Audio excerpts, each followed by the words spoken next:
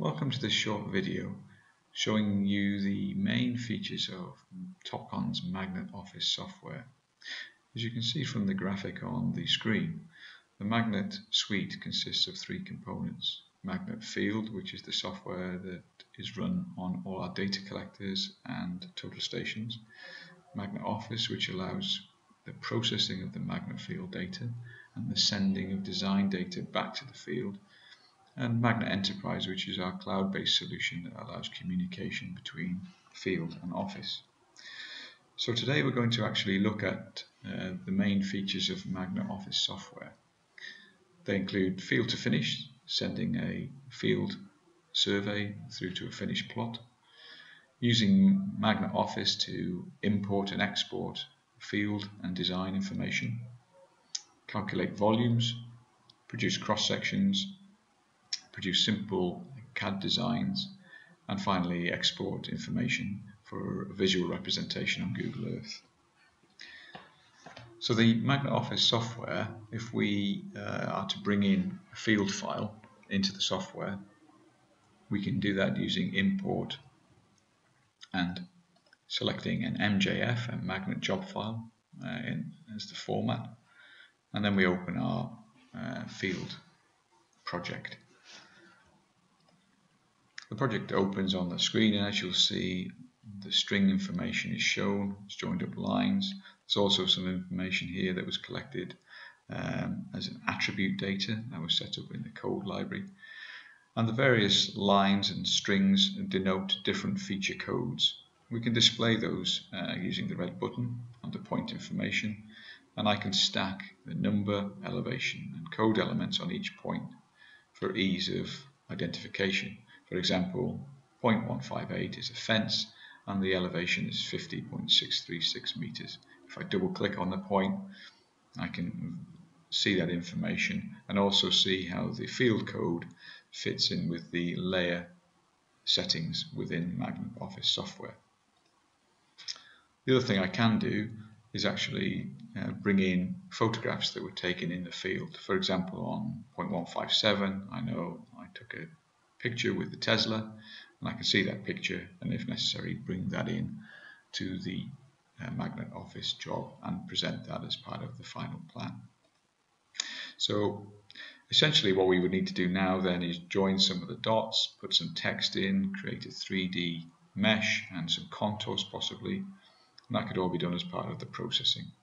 If I jump forward to uh, this job in its sort of final process stage, uh, as you can see on the screen now, we have contours with labels, we have a table with, con with control coordinates, some text, some spot heights, and the line styles have been put in reflecting the different feature codes. If I want to take this onto a piece of paper, I simply use the command File and Create Plot Window. I can choose a piece of paper or a paper size from the library, in this case A3, open that up and actually then move the, the A3 sheet on the screen to fit the project in hand. It's still an A3 sheet even though I'm adjusting the size here. The size then reflects directly on the scale which is shown at the bottom of the screen. So I can change that to a, a normal scale, 1 to 350 say. If necessary, I could include additional uh, plots. For example, if I had I wanted a larger scale, let's say 1 to 150. I could then put in uh, a number of sheets, stack them in whichever arrangement I want, and I've still got uh, the flexibility to move these sheets around dynamically on the screen and rotate and I, I, will create all those plot windows. But for this example I'll just show a single plot window. So I'll take the scale back to 350 and reduce to one sheet of paper.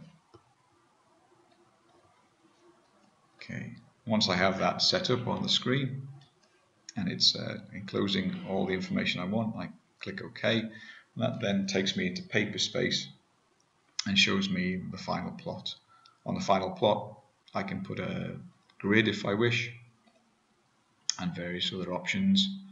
For example, if I wanted a uh, scale a bar scale, I could also put that in, as I'm doing now, etc. etc. together with uh, company logo and uh, a legend if it was required in the final plot.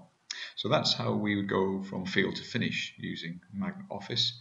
And now let's just look at another example of some of the other functionality in, in Magnet Office software. We'll go to a, a job which involves a volume calculation.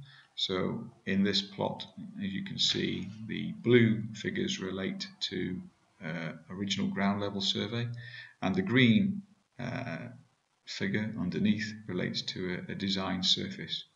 We can volume, compute the volume between the two surfaces using the command surface compute volume. Our design surface is the footprint, which is effectively the outline of the footing or foundation, and the natural surface, or OGL, is our DTM03. Change the uh, color of the cut and fill options here and then calculate using the prismoidal uh, calculation method, which is a stand, industry standard method of calculation. We look at the report, and the report suggests now there is 13, nearly 14,000 cube of fill and four, sorry, 14,000 cube of cut and 400 cube of fill. But to visualize that information, we can look at the, uh, the, the survey in 3D. So I'm right clicking and uh, going for the 3D option, which allows me to show the footprint and the DTM. I'm going to transfer line work and transfer points. And then we get a graphic on the screen which allows us to fly by effectively uh, in 3D, 3D perspective view, the two surfaces. And we can prove uh, to anyone who doubts the calculation that it is most certainly 14,000 cube of cut uh, required to get down to the design surface. So that's the sort of functionality we can offer in the volume calculation. Finally, I want to look at um, bringing in AutoCAD information. So for that, we'll uh, look at a, uh, a, blank job, create a blank job, and we'll bring in an AutoCAD DXF using the command import and we'll go to the folder and select uh, from the input formats DXF or DWG which I'll then pull from the job menu, project menu. The option now is to convert from um, millimeters if the DXF was created in millimeters or no conversion if we realize that the DXF is already in meters. We can then import the DXF and as you'll see it's a pile grid and the difference uh, that Magnet Office allows is that uh, all the nodes are actually created within Magnet Office have point numbers. So for example I can double click on a point number and I'll be given the eastings and northings of that point. So uh, this information we can then use to create designs, offset strings, etc. in Magnet Office. And when we're happy with this, we can then export this out to the field controller. So we're not exporting it out as a CAD model, but as a magnet field file. And the benefit of doing that means that one of the benefits is that all the point numbers here will be the same on the magnet field controller as on the magnet office uh, software.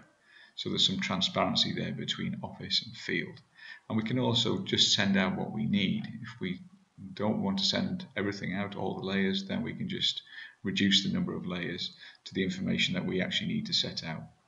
So to set out, send this to a magnet field job, we would select the project and then file and export to a magnet job file as denoted here in the data format. If I call that um, pile grid,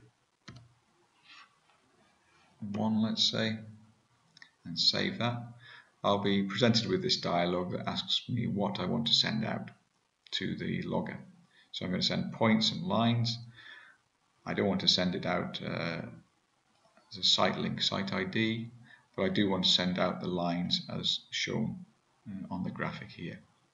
So once i have done that, I can click OK, and that will be then uh, sent out to Magnet Field.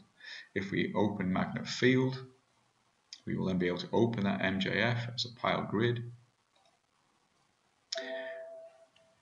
Going through the dialog and looking at our map view, you will then see uh, that we can we can see all the points that we exported from Magnet Office and they will have the same number notation uh, as in Magnet Office and we can then go and set these uh, features out.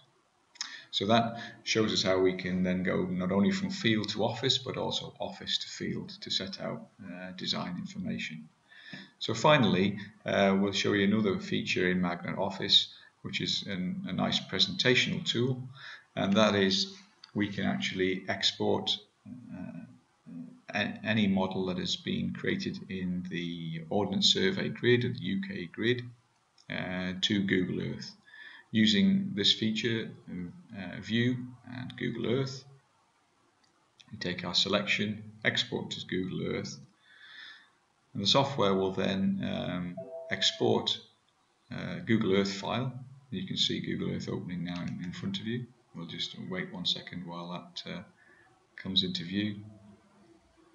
And again, using the coordinates of the national uh, grid system, it will actually place the project, um, in this case somewhere in central London, uh, and it will overlay the project on Google Earth.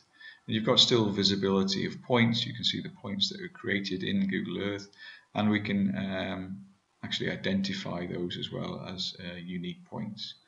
And finally, um, we can actually grab the uh, Street View person and uh, drag him down into Street View and then see the line work that we've seen um, and created in Magnet Office overlaid on Street View. Okay, so uh, this then concludes this uh, short tutorial on Magnet Office software. We, we've just shown you a short summary of some of the major features.